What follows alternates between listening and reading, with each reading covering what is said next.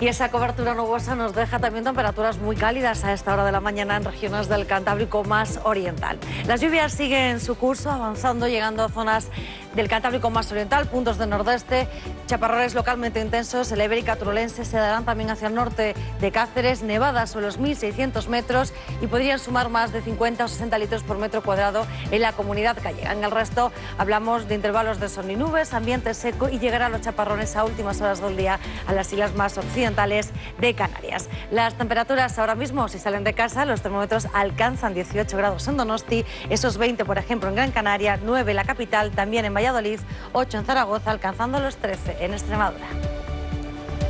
Además, además que sí, y esperadas en regiones del norte peninsular, aunque sigue sin llover en puntos del centro, sur peninsular y archipiélago, aunque esperamos que en las próximas horas llegue una borrasca hacia Canarias, dejando incluso precipitaciones localmente intensas en el Hierro y La Palma, acumulaciones de más de 100 litros por metro cuadrado.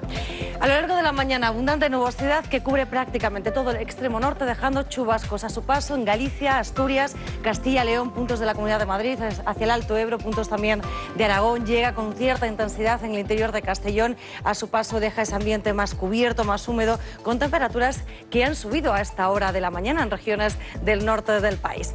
En cuanto al estado del cielo, a lo largo de la tarde continuará con ese ambiente muy variable, muy inestable en regiones del noroeste, con heladas, además de cara a mañana, y hablamos de, de esas nevadas o cotas ¿no? por encima de los 1.600 metros en la cornisa cantábrica. Hablamos también de chubascos localmente intensos hacia el norte de Cáceres y ambiente más despejado con intervalos de nubes medias y altas que irán circulando en Andalucía, Castilla-La Mancha, puntos de la región de Murcia y hacia el sur también de la comunidad valenciana. En Baleares hablaremos de algo más de nubosidad, no llegarán las lluvias, tampoco en puntos de Ceuta, de Melilla o en las islas más orientales de Canarias, donde sí vemos esa abundante nubosidad mucho más activa final de la jornada será en las islas más occidentales del archipiélago atlántico, donde podría haber esas precipitaciones de cara a la madrugada. En cuanto a las temperaturas, hemos dicho que la mañana es más cálida en zonas de País Vasco y de Cantabria, donde ahora mismo los termómetros marcan esos 18 grados en Donosti. Fíjense que tan solo tenemos 20 o 19 en zonas de Santa Cruz de Tenerife o Gran Canaria, 9 por ejemplo en Valladolid, también en la capital, 8 en Zaragoza, un contraste de hasta 10 o 12 grados de diferencia en puntos del extremo norte peninsular, alcanzando los 13, por ejemplo, en Extremadura, 11 en Palma, 12 en el mar de Alborán, alcanzando los 10 grados en regiones del sureste.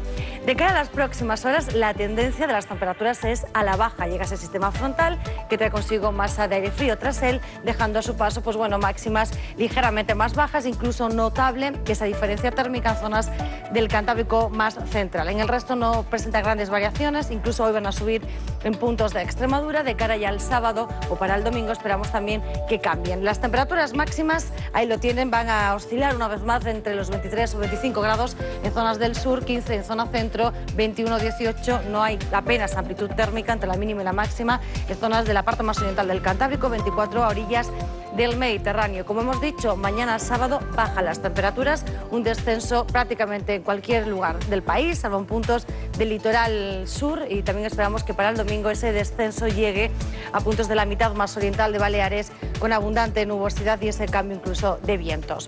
Por lo demás, el sábado lo más significativo está en el archipiélago canario, en el Hierro, La Palma, abundantes precipitaciones con tormentas y rachas de viento que podrían superar los 100 kilómetros por hora. Las lluvias irán claramente a menos, las nevadas sobre los 1.200 metros en el Pirineo el domingo. Si hablamos de cierta inestabilidad, aunque irá claramente a menos, en zonas de la península podría descargar algún que otro chaparrón en el Golfo de Cádiz y hablaríamos de las precipitaciones muy abundantes en zonas de Canarias. España ya es uno de los países más seco, más árido de toda Europa, según el último informe de Greenpeace. La sequía pasa factura y se está encareciendo nuestra cesta de la compra y la luz sube unos 70 euros de media. Nuestras reservas de agua embalsada apenas llega al 33% de su capacidad. Ya son más de 120 municipios españoles que se están abasteciendo con camiones y cisternas al carecer ya de agua para el consumo. Desde septiembre hasta ahora, fíjense, porque esta es el agua caída acumulada en España.